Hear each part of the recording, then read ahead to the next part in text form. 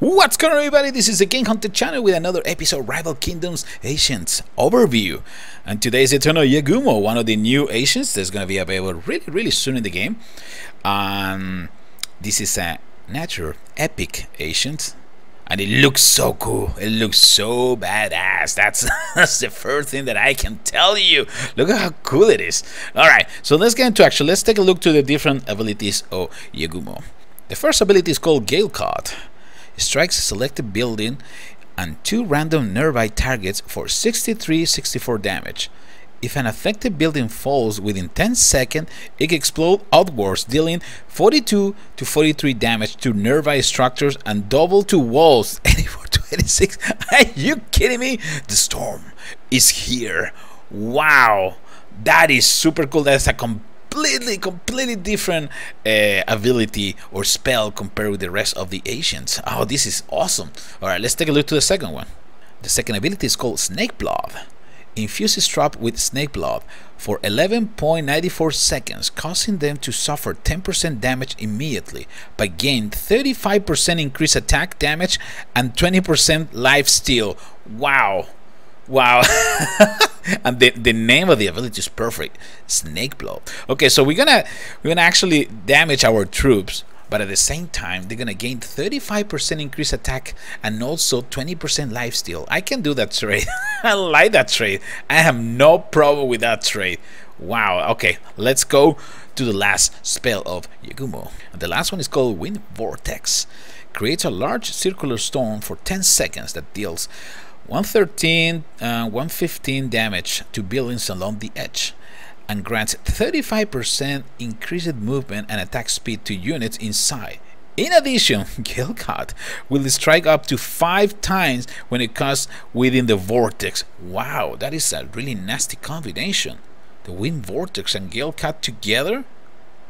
You can actually bring down a base in 2 seconds. Oh, alright. Let's see Yagumo in action. You guys ready? Let's go. Alright, let's go to the first battle with Yagumo. Alright, so this one, well, it's not that difficult. It's a stronghold level 6. We're just gonna deploy the units in front and see what happens. Take it from there. Uh, we're gonna probably change. We're gonna put double soldiers, one paladin, and two guardians. That would be nice. We can put Taliesin in here just to give me some extra mana.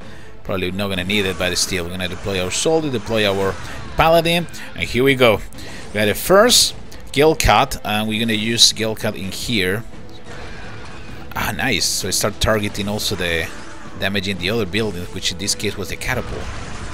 Actually, that was pretty sweet. Alright, Taliesin, go to the other corner. I'm gonna wait until we can have enough mana for the snake blood. Infuse troop with the snake blood for 11th. Okay, let's do that. Let's do that. It's time to see this in action. It's time to see this snake blood in action. Oh, wow. And these guys are increasing, increasing attack speed. Increasing attack with 35% and lifesteal. Wow, we were able to get all my troops back to normal in two seconds.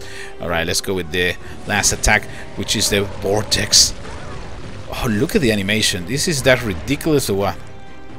Wow. oh, baby, that looks amazing. Alright, we can use the Vortex one more time in there to finish. And that was the end of this battle.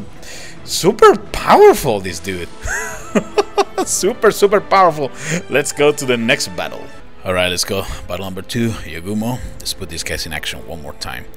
Uh, well, shouldn't have any problem attacking this base, but you know what? We're going to attack from behind because I want to try and use the wind vortex one more time. Alright, so we're going to put Taliesin in there in position. Uh, we start getting attacked. Yes, we're going to get the soldiers. Let's put the paladin also. Probably put the Wardens in this area, Guardians in here too. In a few more seconds, we're gonna have the Wind Vortex ready, so we're gonna use that one. Oh, this looks amazing! And now we can use the the Gale Cut with extra damage. Look at that! Wow, how fast it's expanding! Snake, blood, and this base is going down in two seconds. This base is just getting destroyed. Unbelievable! How powerful is this Yagumo? Unbelievable! Wow, okay, this base is completely done, so we're just gonna end the battle, but we're gonna use the vortex one more time because it looks super, super cool. Nice. Alright, let's go to the next battle. Alright, Gumo, last battle of the night. Uh, let's see how we're gonna attack this one. We shouldn't have any problem attacking from the bottom. No, at all. Alright, so we're just gonna go full force. We're just gonna go full force. Whatever happened, happened. There you go. Kami, Cassie, YOLO, whatever you wanna call it, and here we go. Taliesin, you can go to the other corner. Thank you. We can use the Gale Cut in a few seconds. Gale Cut, you can go there. Perfect.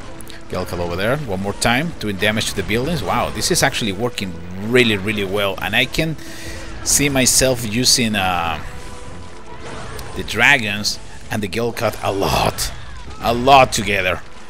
Look at that vortex. It's just ridiculous. And again, if you combine that with Gale Cut, game over, man. Game over. Fellas, that was a really quick overview of the Yagumo, one of the new Ancients that's going to be available in Rival Kingdoms really soon. Um, actually, stay tuned to my channel because I got some more surprises. this is the Game Huntah signing off. I'll see you in the next one. Take care, everybody.